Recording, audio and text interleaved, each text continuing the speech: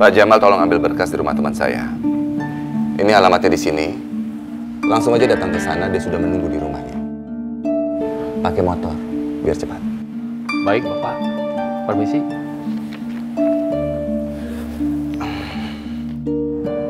Kamu makan dulu ya. Nih, ada minumnya juga.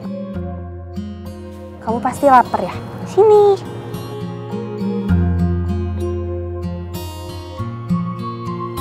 Kamu kok bisa nyasar ke sini sih? Kamu terpisah ya dari ibu kamu.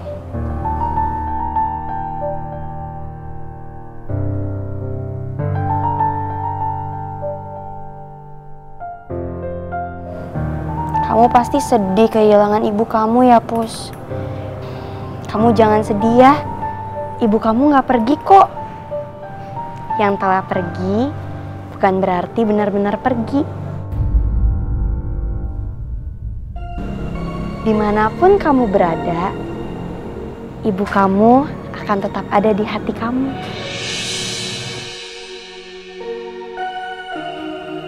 Rasanya aku pernah mendengar omongan itu. Mak, tuh. Iya? Kasian ya mak, kucingnya nggak punya ibu lagi. Iya sayang. Tenang saja ya. Walaupun ibu kamu sudah pergi, ibu kamu selalu ada di hati kamu. Seperti mama. Mama tetap akan ada selalu di hati kalian berdua. Kenapa omongan Indah sama persis dengan omongan Dewi? Cara dia memperlakukan kucing juga sama. Kenapa bisa benar-benar mirip? Aku benar-benar masih ingat sekali apa yang diucapkan Dewi sama persis dengan yang diucapkan Indah barusan. Apa ini cuma kebetulan aja?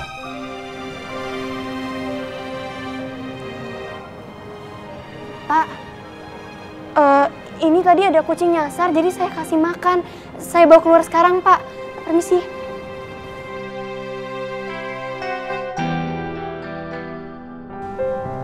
Kamu jangan bohong sama aku, Mer. Walaupun aku sudah ada bukti, tapi aku ingin dengar langsung dari kamu. Apa benar? Indah itu anaknya Hendardi.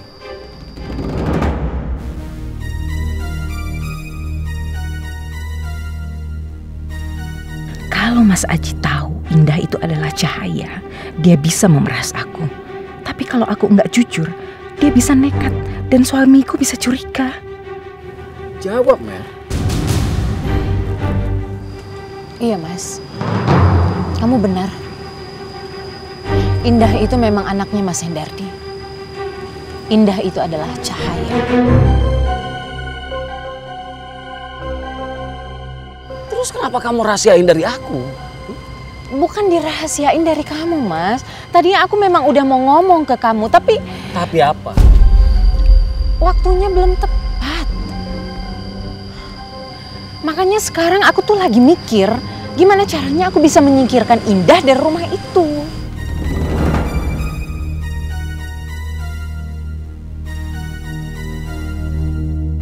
Sepertinya aku bisa manfaatin semua ini untuk mendapatkan keuntungan.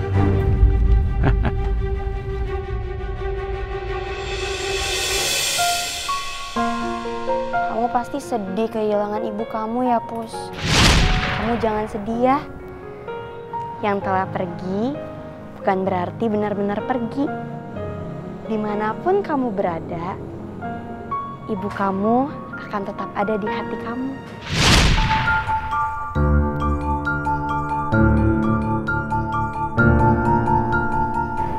Indah benar-benar mirip sekali dengan almarhumah istriku.